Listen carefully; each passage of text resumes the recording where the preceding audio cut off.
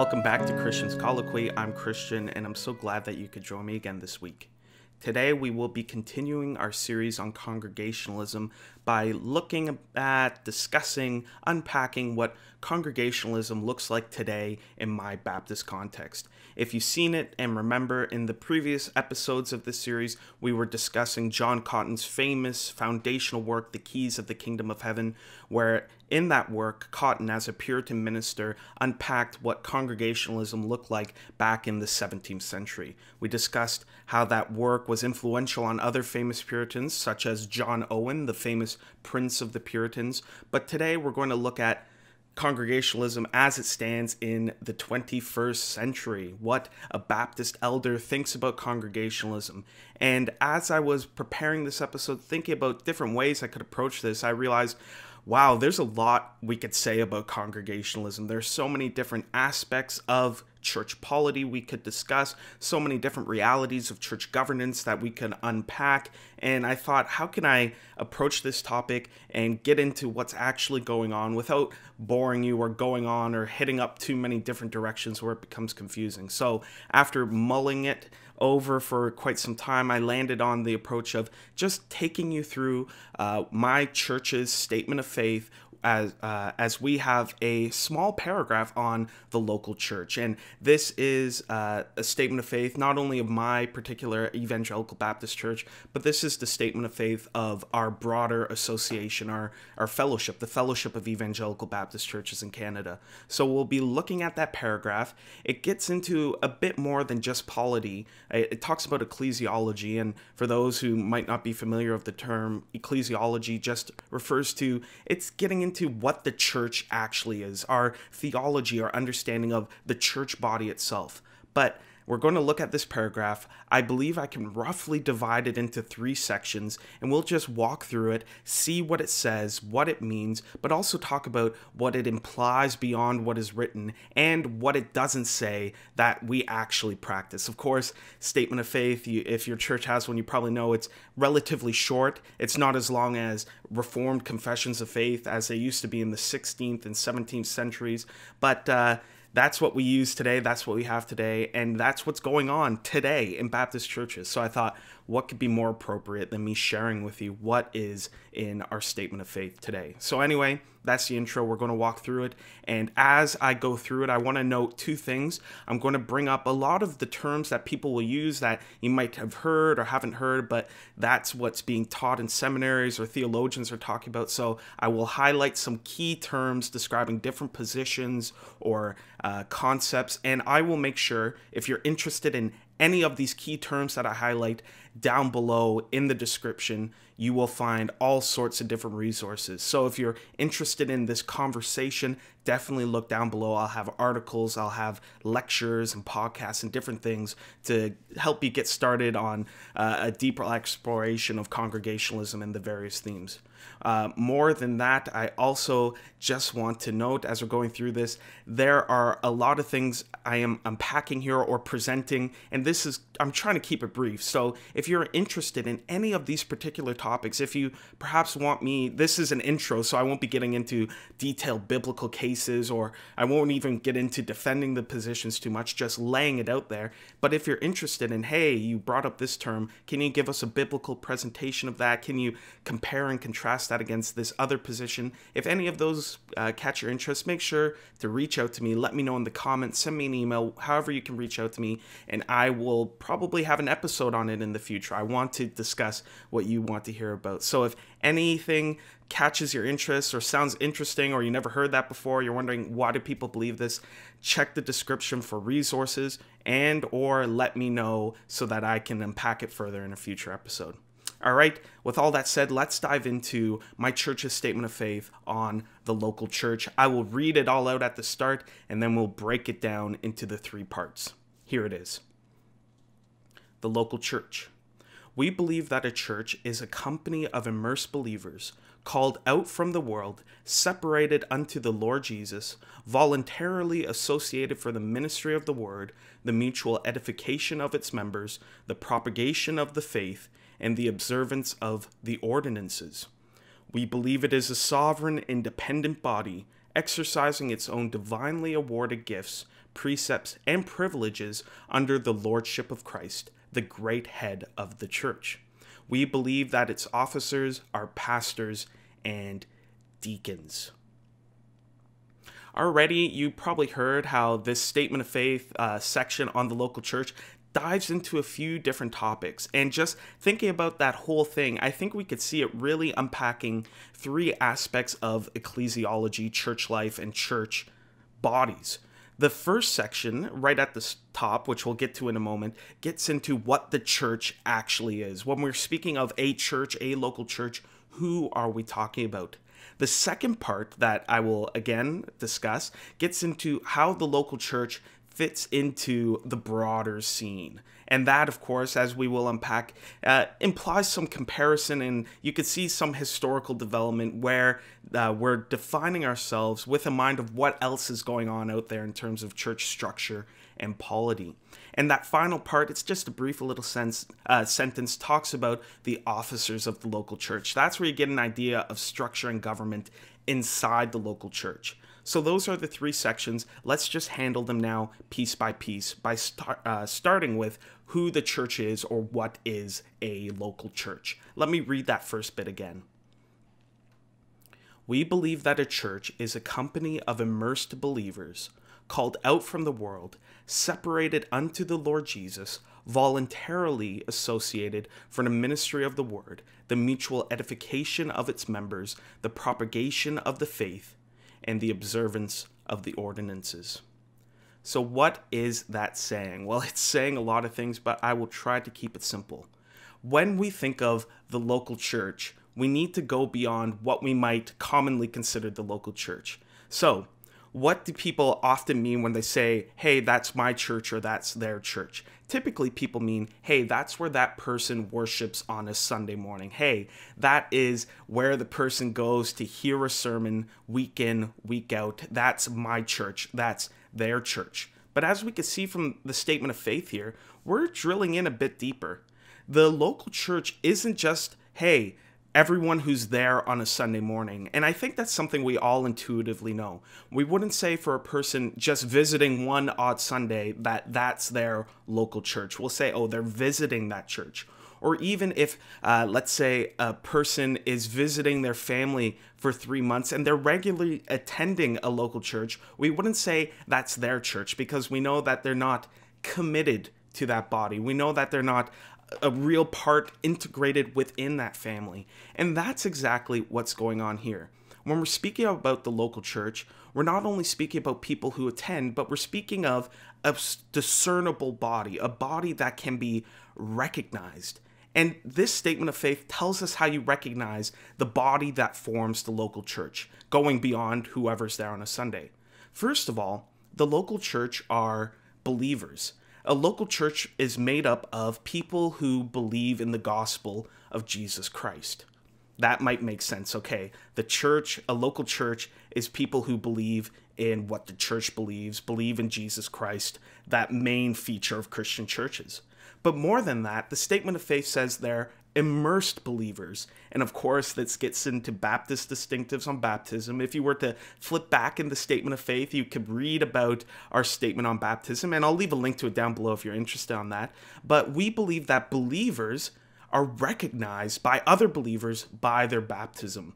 And this is probably something you're familiar with or heard before. Baptists will often say uh, baptism is your declaration of faith, it's how you make your faith known. Typically, you read your testimony, but more importantly, visibly and publicly, you are plunged into the water, buried with Christ, and raised to new life in Him. So, the local church, it's believers believers who are known by their baptism, but more importantly, for membership itself, it's these people who are voluntarily associated for certain things. And that's a critical point here. And this is where we get to the first key term. When Baptists speak of the local church, we'll often speak of a regenerate church membership.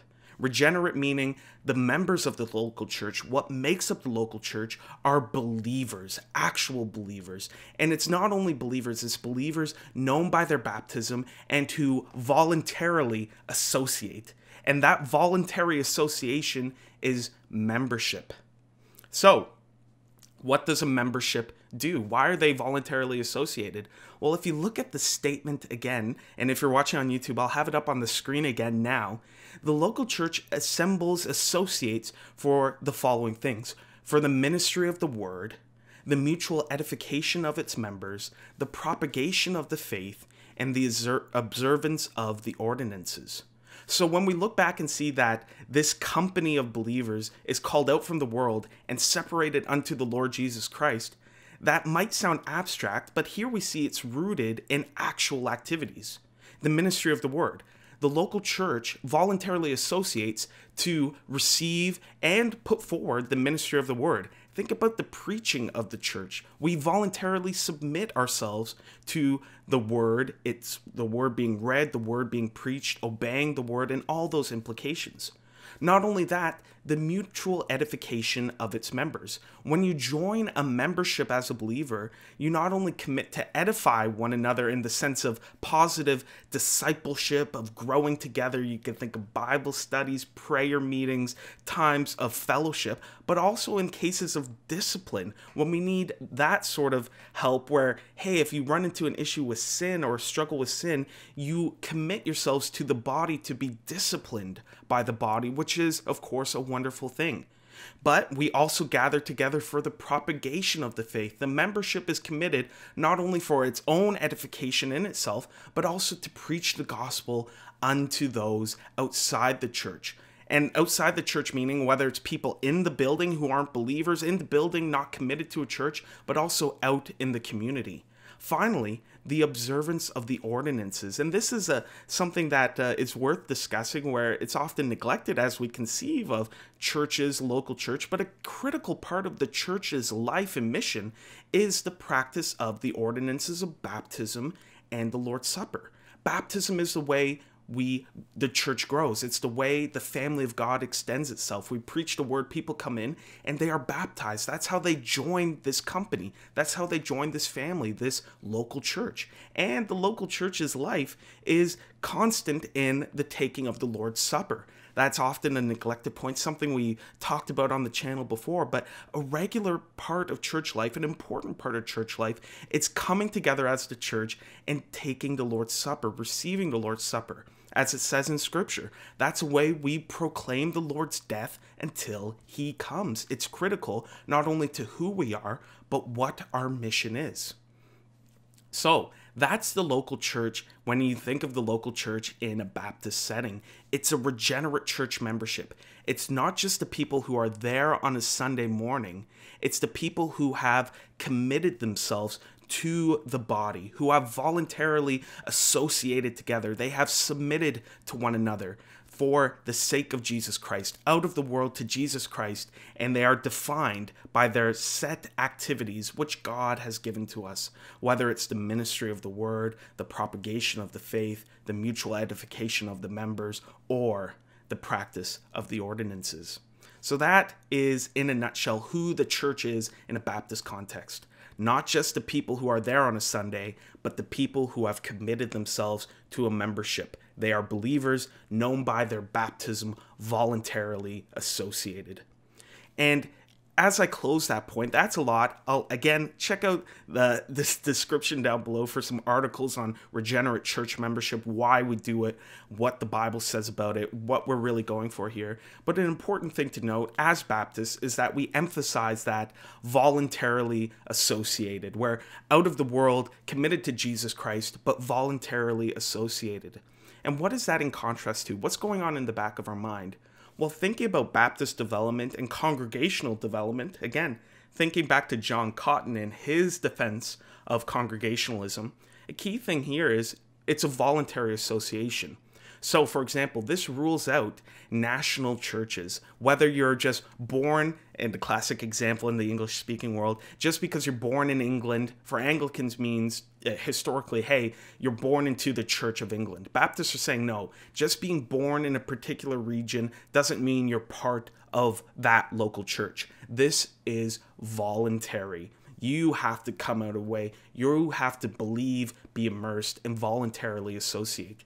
The other thing in the back of the mind, not only national churches or state churches, is the concept of what about children of believers? A key thing here is it is, again, not by birth, whether by citizenship or by parental lineage. Just because you're born to believers, part of a church, doesn't mean you're automatically part of the local church. Again, you have to believe, be immersed, and voluntarily associate yourself. So, just being born in a region in a national church or being born to parents who are believers doesn't make you part of the local church.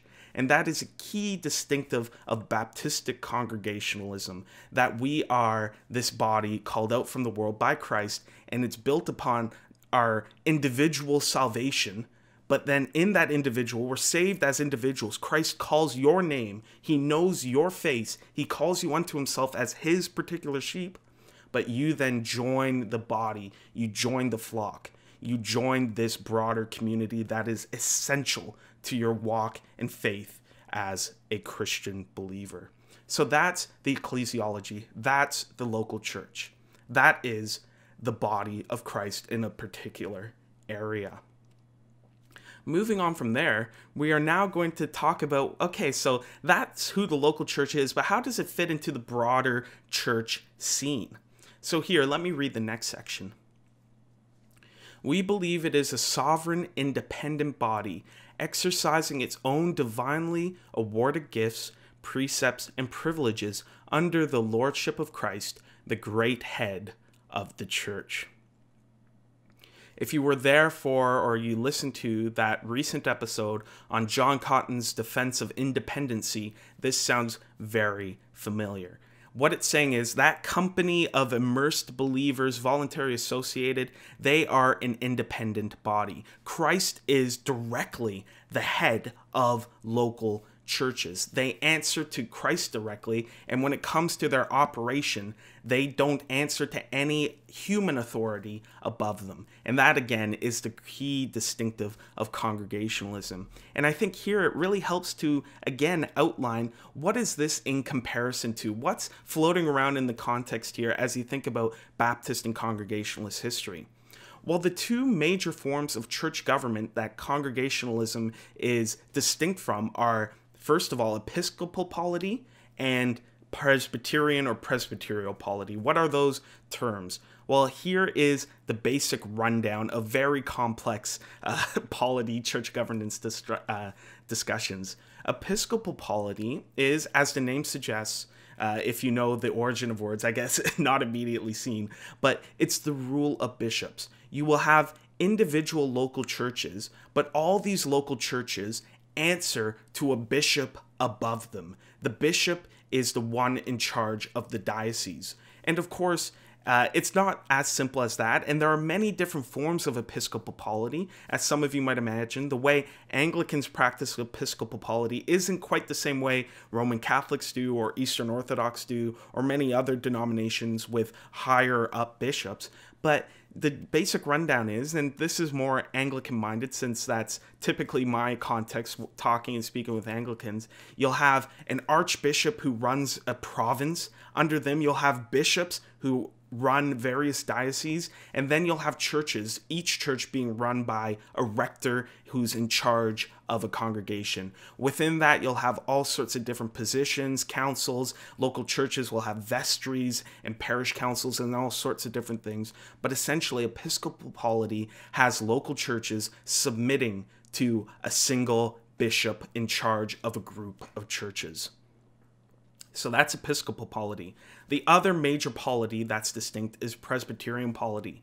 Instead of having a single bishop in charge of a group of churches in a region, Presbyterian polity has a presbytery, a group, a synod, a, a group of elders representing various churches who control or run the region. So while it's not a single individual, you have this higher court above the churches, where if issues happen in the local church, the presbytery above them in a region can instruct them, can correct them, can guide them down a path like a bishop. Instead, it being a council. And of course, there's a lot more. There are various Presbyterian or Presbyterial uh, forms of this. How it looks in Dutch Reform, Continental Reform circles isn't how it looks in more Scottish Presbyterian uh, traditions, but essentially, you'll have churches which an- answer to their local sessions, their elders boards, which in turn answer to presbyteries above in a region, which in turn answer to a gem- general assembly, which typically gathers once a year as I understand it anyway. So that is essentially the Presbyterian structure. Again, there is a hierarchy, a human hierarchy above the local church. The critical distinctive that we see here articulated in the statement of faith, again, it's on the screen if you're watching on YouTube now, is that the church, the local church, that company of immersed believers, is a sovereign, independent body. There is no bishop above the local church. There is no council above the local church. The local church is independent. And as we talked about in Cotton's work, it's independent from human authority, but entirely dependent upon Christ's authority and his law and his good gifts. And that, of course, the good gifts are talking about. This is a big thing in Cotton, all those wonderful gifts Christ gives to his church to allow them to function to allow them to conduct their various ministries, all the way from the word to caring for one another to fellowshipping. And that is the critical point of congregationalism. While we might have horizontal relationships and often do, again, check out the description on Baptist associations. Churches will work together as equals, as partners, but they don't have standing bodies above them like other denominations will. There is no council or bishop that my local church is answering to if we run into issues. We might seek out the help of other local churches, but there's no bishop who can unilaterally uh, replace our pastor. There's no presbytery above us that can discipline our church if we run into issues. We are given what we require under Christ and we make wise use of our horizontal relationships. That's a key point. And if that sounds difficult to imagine, or if you're thinking about it, I highly recommend first check out that episode from Cotton's view of independency, his defense of it. But then I'll also have some more resources about, and this is a key term again, the autonomy of local churches. That is a term Baptists will use autonomy of local churches. We don't answer to other human authorities. Let's move to that final statement, and this is where we get into the deeper polity discussions of inside the local church. I'll have it on the screen again, and let me just read it briefly. We believe that its officers are pastors and deacons. So, it again is the local church. The local church has officers, leaders essentially, and there are two classes of them pastors, deacons. And that is a brief statement, but as a lot of us might be aware, or you might be wondering, there are a lot of questions and issues that relate to this, come around this. So let me just highlight a few. First thing to note is pastors, elders, and in the Baptist world and mindset, reading the biblical text, Congregationalists believe bishops are all titles of the same office. So if your church has a pastor and elders and it's a Baptist church, know that pastors and elders, biblically speaking, are the same office. They have the same responsibilities and the same authority. What often is the case in Baptist churches, at least in my corner of the Baptist world, is that pastor is typically a title reserved to the elder who is on staff, who is preaching week in and week out, who has those office administration responsibilities, while elder is typically reserved for those who are lay elders. Lay elder meaning a term that being a pastor isn't their primary vocation, that they are voluntary, they're not on the staff of the church. So we use these different terms to discuss different, I guess, practical realities. But the key thing to remember is that according to the Bible, as a Baptist, I'm saying this, of course, according to what we understand Scripture to be teaching, is that pastors, elders, and bishops, and of course, there's some disagreement on how to use that term, are the same office. So whether you uh, know, hey, that's the pastor of my church, or those are the elders, they believe, and the statement of faith outlines here, they have all the same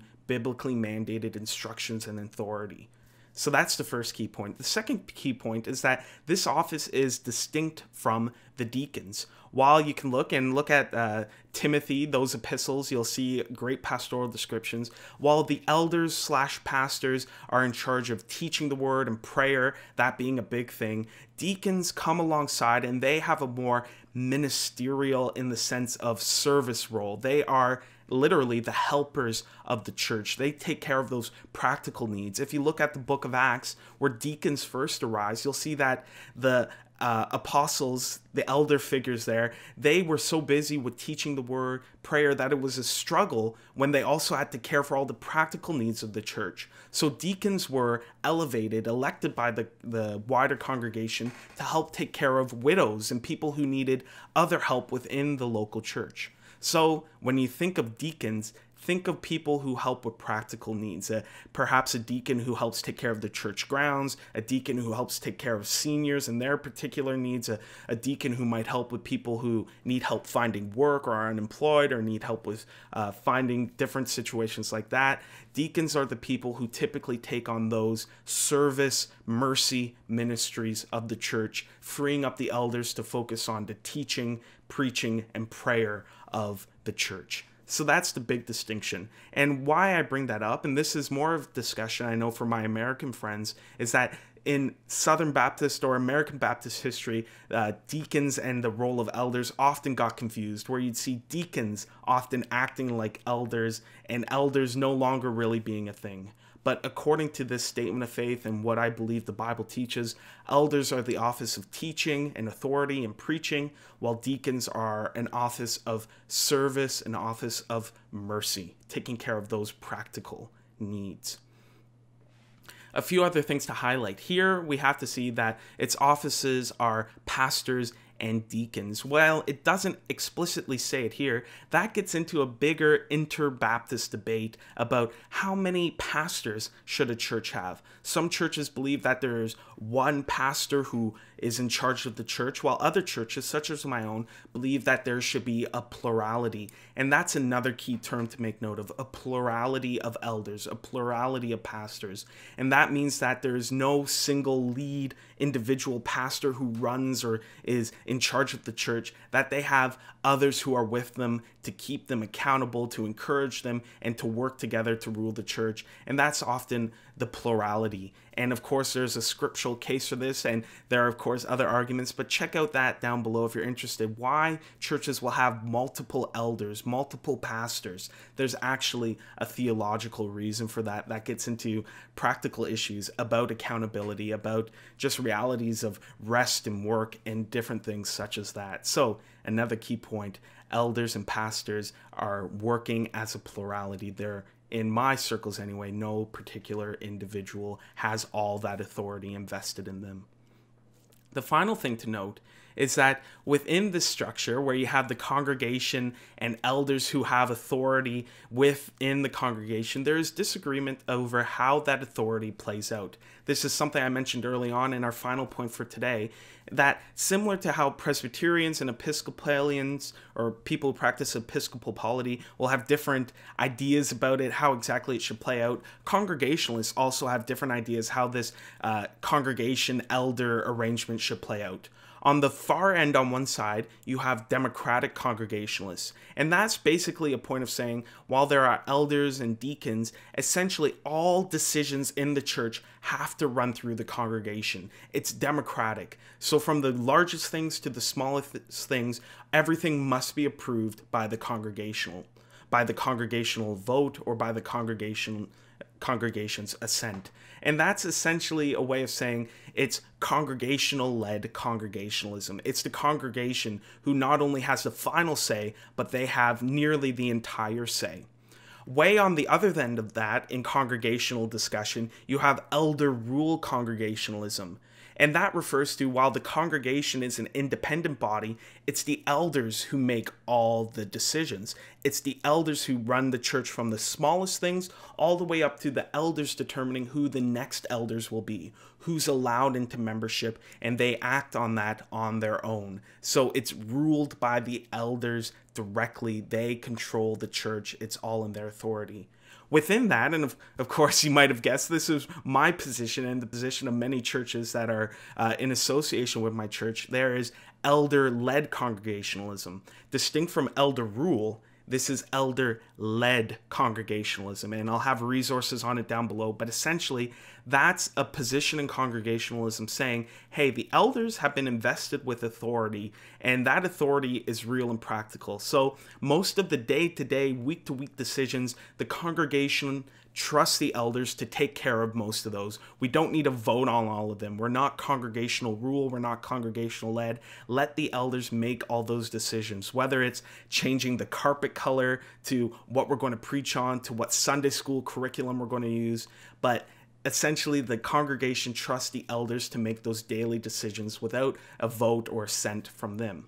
But unlike elder rule, elder led congregationalism still understands the congregation is the final body, the highest body within the church. That is the true authority of the church in the sense that to ordain new elders, they first need to be elected by the congregation. To receive new members into membership, they must be approved and voted on by the congregation. To execute excommunicate someone from membership, to remove someone from membership, that's something where we need the congregation's approval. And again, that is discussed in Cotton's work. I suggest you check that out. But that's truly, in my opinion anyway, the middle path where it understands the elders have a true responsibility to lead and run the church day to day, make all those nitty gritty decisions or those highbrow theology discussions. But when it comes to the church's extension of itself, whether through new elders, adding or removing members, the congregation has the final authority. They are the final accountability.